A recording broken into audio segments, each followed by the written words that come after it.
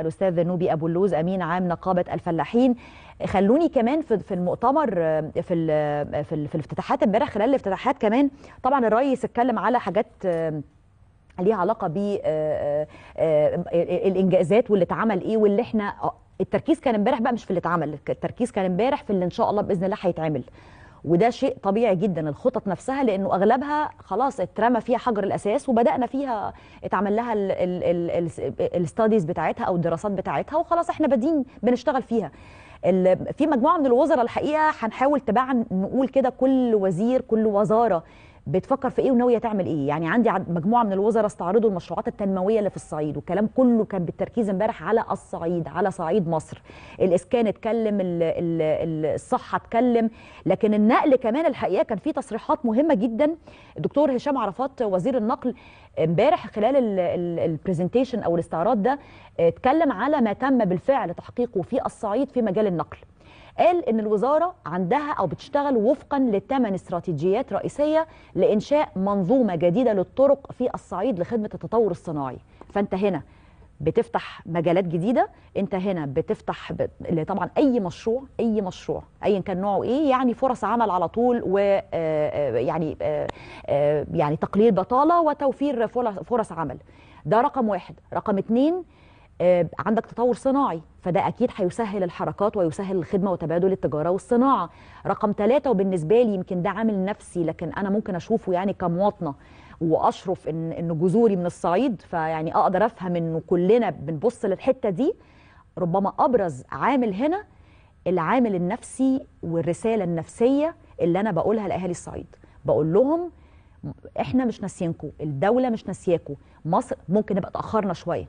لكن مش معنى كده إن أنتم منسيين. خلونا نتكلم ونسأل إيه حجم الإجمالي لاستثمارات مشروعات النقل اللي في صعيد مصر في الفترة اللي فاتت دي اتعمل قد إيه؟ بنتكلم على مشروعات سكه حديد قد إيه؟ بنتكلم على طرق وكباري قد إيه؟ في تفاصيل كتيرة الحقيقة محتاجين نسأل عنها وأعتقد إنه خير من يحدثنا عنها. معالي الوزير الدكتور هشام عرفات وزير النقل. أهلا بحضرتك معالي الوزير. أهلا يا فندم صباح الخير ازي حضرتك؟ صباح النور يا فندم عليك و... وما تم استعراضه بالأمس شيء مشرف جدا لأنه ما فيهوش باب للمبالغة ولا المزايدة. ده هو أرقام واحد زائد واحد يساوي اتنين. فإحنا امبارح قلنا إحنا بالفعل بنعمل إيه. ال ال الاستراتيجية يا فندم اللي فيها ثمان محاور أو الثمان استراتيجيات اللي حضرتك امبارح أشرت ليها يعني دعامتها إيه بالظبط بترمز إلى إيه بالظبط للعمل في تطوير وتنمية الصعيد منظومة النقل في الصعيد. نعم. هو بسم الله الرحمن الرحيم. هو حضرتك يعني زي ما حضرتك بتقولي الأرقام عمرها ما تكذب لأن الهندسة مبنية أساسا على أرقام.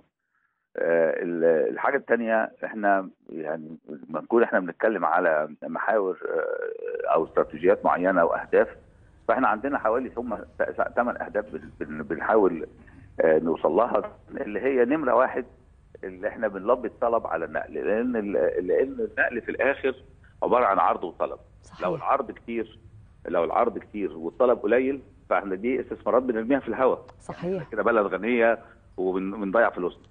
أما لو كان ال ال الطلب كتير جدا والعرض قليل فده اللي بيعمل عدم اتزان وبيعمل الزحمة اللي انت حضرتك كنا بنعاني منها فترة طويلة وانهيار مستوى الخدمة. فلازم يكون العرض دايما متوازن مع الطلب. فإحنا دورنا كوزارة النقل إحنا بنشوف بندرس الطلب على النقل كويس. وبن وبنحط الخطط اللي المفروض اللي هي تميز الديماند دهوت أو اللي إحنا نلبي الطلب دهوت بوضوح شديد جدا وعلى فترات زمنية معينة وبتدفقات مالية مناسبة. فده اللي إحنا عملناه وده اللي البلد الحمد لله نجحت إنها تعمله. اللي كان الاهم أهم شيء اللي انت بتبصي على خطط تنموية كبيرة اللي الدولة شغالة عليها. عشان تحددي الطلب على النقل عليها اللي هي خطط التنمية في الصعيد دي بتتركز في ثلاث خطط تنمية رئيسية أعلنت في 2014 اللي هو واحد المليون ونص فدان. اثنين الخطط المدن الجديدة اللي إحنا البلد بتعملها دلوقتي يمكن معالي وزير الاسكان امبارح اتكلم عليها باستفاضة. ثلاثة خطط التنمية الصناعية اللي اتكلم عليها برضو معالي وزير التجارة والصناعة امبارح. فالكلام ده هو كله لازم النقل بقى يبقى له دور ان هو اللي هيبقى مسؤول عن نقل الأفراد ونقل البضائع إن الناس برضو ساعات بتنسى موضوع نقل البضائع نقل البضائع ده هو إحنا ابتدينا نفعل دلوقتي نقل السكة الحديد والنقل النهري فعلا. مش كلام مش كلام نظري يعني. وده كان الهدف يا فندم اللي إحنا بقالنا سنوات بنتكلم عليه لأنه ال- الطريقة الأمثل أعتقد في العالم كله لنقل البضائع بتكون عن المفروض طبعا عن طريق ال- ال- ال- السكة الحديد وليس عن طريق النقل عربيات النقل اللي بتمشي في الشارع واللي بتسبب جزء ده. كبير من المشكلة والحوادث تمام بس هو ده إحنا عندنا هنا بقى في مصر حقيقة آه، يعني يعني الآية اتغ- اتغيرت بقى لها يمكن أكتر من 35 سنة. صحيح. بسبب بسبب منظومة اسمها منظومة الدعم دعم على السولر أو أو الوقود. فإحنا كده دعمنا الأسفلت على حساب ويمكن امبارح وضحتها. مم. الكلام ده وضحته. وكانت مهمة دي جدا. عندنا يعني أنا. كنت مستغرب جدا الناس يعني ليه نظريين أو اكاديميين في الكلام. يعني إحنا النهارده لازم نكون نحط مشاكلنا كلها بوضوح شديد جدا. إحنا عندنا اللي خلى الناس تبعد عن السكة الحديد. والنقل النهري منظومة الدعم. لأن السكه الحديد والنقل النهري مش منظومة نقل من الباب للباب هي لازم بيكون في وسيطة وسائط أخرى يعني ما هياش بنسميها يعني ما هياش from door to door فكان. لازم إن إحنا يعني الخطط الكلام ده لازم تتماشى مع تخفيض الدعم شوية بحيث إن ال- الاقتصاد يشتغل في مجال نقل السكة الحديد ونقل ال- وإحنا عشان قعدنا سنوات طويلة جدا ربما عشرات السنوات ما خفضناش الدعم ده فلما جينا في الفترة الأخيرة دي نتكلم على كلمة تخفيض دعم الناس كانت مش فاهمة. ففي حالة بانيك حصلت ف... وزير التموين امبارح اتكلم كلام جميل جدا جدا. وهي يعني أما قال إن هي يعني الدعم في حد ذاته الناس كلها بتدعم في العالم حتى أمريكا بس أهم حاجة توجيه الدعم باتجاه صح. النهارده لما أنا اكون مدعم السولار ومدعم البنزين على الاطلاق يبقى كده معناته أنا بدعم الغني الناس كتير قوي. عندهم هو دعم شركات نقل بضائع ضخمة. طب وده الكلام ده؟ هو كان أبرز مثال كنا دايما نقوله يا معالي الوزير أكيد حضرتك عارفه إنه مش معقولة أبقى بدعم مثلا على سبيل المثال المية. مش معقولة أبقى بدعم ال- ال- ال- اللي قاعد في منطقة يعني يعني آه، محدودة المستوى جدا بنفس القدر اللي بدعم بيه مثلا الراجل اللي اللي عايز مية عشان يملى حمام السباحة اللي في الفيلا عنده. فيعني المنطق السياسية النهارده بقى. يعني حقيقة ابتدت تشتغل صح قوي قوي قوي. في الكلام دوت. وب- وبشفافيه ووضوح شديد جدا لأن فعلا مش هنقدر نستمر بهذا الشكل. إحنا من ساعة ما تم تخفيض الدعم بقى شوية على السولار آه، اللي هو برضه مازال مدعم ابتدى الاقتصاد آه، يشتغل في مجال النقل النهري ومجال السكه. ف- فإحنا عندنا دلوقتي لازم يعني نكون جاهزين لهذا فإحنا.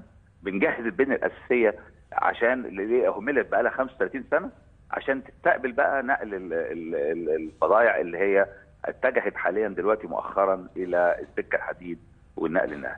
إحنا امبارح شرحنا النقل النهري إزاي بنجهز البنيه الأساسية اللي إحنا. بن بالذات في الصعيد اللي إحنا بنجهز آه، خرائط آه، دلوقتي إلكترونية. بنعمل نظام اسمه نظام تتبع لل- للوحدات ال- الملاحة النهرية. إن شاء الله البرجات اللي هتنقل البضائع الوحدات السياحية. وتفعل إمتى إن شاء الله يا سيادة الوزير؟ دي هننتهي من هذا المشروع الطموح جدا. آخر السنة دي أو أول السنة الجاية. آه، إحنا بنحط أربع مناطق رصد عشان. نعمل التتبع دهوت خلصنا محطة لا بقى ثلاث محطات. وبنعملها بالتعاون مع هيئة العمليات في القوات المسلحة بنعمل اختبارات حاليا دلوقتي آه، في منطقة من منطقة الجيزة لحد بني سويف. عشان نتأكد من دقة التتبع اللي إحنا ده في مجال النقل النهري طيب أنا عايزة برضو بعد إذن حضرتك أرجع لنقطة حضرتك ذكرتها امبارح مهمة جدا برضو تدينا تفاصيل أكتر عنها موضوع الربط الإلكتروني. و- وفكره أرجع تاني بس معلش السكة الحديد وال- والمزلقانات وتطوير آه. اتفضل. لأنه الربط الإلكتروني عشان أوصل للمواصفات الأوروبية اللي بره دي يعني محتاجة كمان قوي عندي العنصر البشري أشتغل عليه وأعمل فيه investment هايل. هو ده اللي بيحصل فعلا حاليا دلوقتي. إحنا من ساعة حضرتك ما ما جينا قلنا يا جماعة إحنا عندنا كلمة هتسمعوها من مني كتير قوي اللي هي البنية الأساسية والبنيه الأساسية والبنية الأساسية اللي إحنا فعلا عندنا البنية الأساسية في السكة الحديد آه، نتيجة آه، إهمال نقل البضائع إن السكة الحديد في كل العالم بتكسب من السكة من نقل البضائع لما إحنا دعمنا السولار والناس تحولت من السكة الحديد إلى الأسفلت أهملت السكة الحديد وأهملت البنية تطوير البنية الأساسية إلا في مناطق. فاحنا دلوقتي عندنا تحدي رهيب جدا اللي إحنا نعلى بالبنيه الأساسية. نعلى بالبنيه الأساسية لازم نعلى بالامان مستوى الأمان. لازم نعلى بحاجه تانية والأهم من كده اللي هي مستوى ال comfort بنسميه ال comfort. الراحة. آه الراحة بالنسبة ل... طب الراحة إزاي هتيجي وإحنا عندنا نسبة ال ال ال- ال- الحجم أو أو الح- الطلب على النقل في السكة الحديد بالذات في الصعيد يتجاوز القصوى بتاعة الخطوط. فكان لازم نعمل نظام اسمه نظام الربط الإلكتروني اللي هو ده أعلى نظام safety في العالم حاليا دلوقتي اسمه SIL 4 أو safety integrity level 4 ال safety integrity level ده بيحقق الأمان اللي إحنا اللي إحنا كنا آه، يعني مفتقدينه آه، لفترة طويلة بس هو لسه ما خلصش. يعني إحنا شغالين دلوقتي على قدم وساق زي ما بيقولوا. وكلها بقروض ميسرة جدا من من آه،. مؤسسات تمويل دولية. زي البنك الدولي زي آه، بنك ال- ال- الصادرات ال- الكوري آه، زي برضه الصندوق العربي والصندوق الكويتي. إحنا شغالين في حوالي 1200 كيلو حاليا دلوقتي أو 1100 مم. آه، الصعيد لوحده شغالين تقريبا بحوالي 7 مليار جنيه لتطوير أو مش لتطوير بقى الاستحداث مم. نظام الإشارات الربط الإلكتروني. ده هيحقق أعلى أمان هيربط المزلقانات مع مع الإشارات كلها بالكامل بحيث إن الم- المزلقانات تبقى كلها بوابات بوابات أوتوماتيكية مربوطة مم. بنظام الإشارات مم. هيبقى يتمكن فأنا هنا يا فندم بعدت بقى خالص القصة اللي بقالنا سنين بنعاني منها إنه عامل المزلقان أو اللي عامل الفرج المراقبة هو اللي واقف فلو اتشغل أو وقف بره يشرب سيجارة ممكن ما يع- يعمل غلطة تعمل مشكلة في قطر أنا كده بقى بعدت خالص عن المنظومة ال- البالية دي إن شاء الله وهتجدي حضرتك الموضوع ده هو دلوقتي واضح إن شاء الله بإذن الله على نهاية السنة دي هتجديها في طريق القاهرة اسكندرية الزراعي وهتبتدي تظهر في الصعيد يا رب. على نص على نص 2019 يا رب إن شاء الله إن شاء الله. سكة حديد بإذن الله آمنة على نص 2019 هتشوف سكة حديد أسرع على نص 2019 والخدمة هتبقى أحسن بكتير عن عن حتى دلوقتي يعني أنا بفضل ربنا هي اتحسنت دلوقتي عن عن وقت ال- الأليم بتاع الحادثة. اللي هو كان في شهر 8 وشهر 7 اللي فات إحنا اتحسنا إلى حد يعني بنسبة حوالي 95% آه، والناس دلوقتي حاسة بفرق رهيب في انتظام الحمد لله نوعا انتظام الوصول آه، وانتظام القيام والوصول. إنما مش ده اللي إحنا عايزينه إحنا عايزين أحسن من كده. إحنا يبقى الخدمة أحسن طبعا. وأحسن. وحضرتك قلت الكلمة اللي اللي الناس كلها ال comfort لأن ال comfort أو الراحة دي اللي هي بما فيها طبعا ال safety and security دي أهم حاجة. ال safety نمرة واحد. طبعاً. ال safety نمرة واحد واحد واثنين وثلاثة. أبقى مطمنة على حياتي يعني وبعدين أبقى مطمنة إن أنا قاعدة على كرسي مريحني وال service تمام. برافو عليك هو ده ده الهدف إن شاء الله. إن شاء الله. بشكرك جزيل الشكر آه، معالي الوزير وزير النقل الدكتور هشام عرفات. ده مجهود محترم جدا وأنا سعيدة إنه بنكلم وزير على الهوا بيدينا ميعاد. مش مجرد إنه هو بيقول وهنبقى نعمل وهنبقى نسوي لا يعني أعتقد إنه آه، يعني هأكد على آخر آه، آه، موعد اداه سيادة الوزير وضحه وكان وضحه امبارح إنه بإذن الله تعالى بإذن الله تعالى لو لينا عمر على منتصف 2019 إن شاء الله بإذن الله سكة حديد إن شاء الله تكون آمنة. سكة حديد آمنة. مستوى مختلف تماما. ومع نهاية 2018 إن شاء الله بإذن الله كمان التحسن هنشوفه أكتر. لكن إن شاء الله لو بنتكلم على أمان في المنظومة عشان بعد الشر الحوادث والحاجات اللي بتزعلنا. والقطورات اللي بت... قطر يطلع بره ال- ال- القضيب وقطر مش عارفة يدخل في إيه وعامل مراقبة ما كانش موجود وسواق سرح والكلام ده لا يعني مصر تستحق بقى منظومة متكاملة أحسن من كده بكتير. نتمنى وإن شاء الله نتفائل بالخير.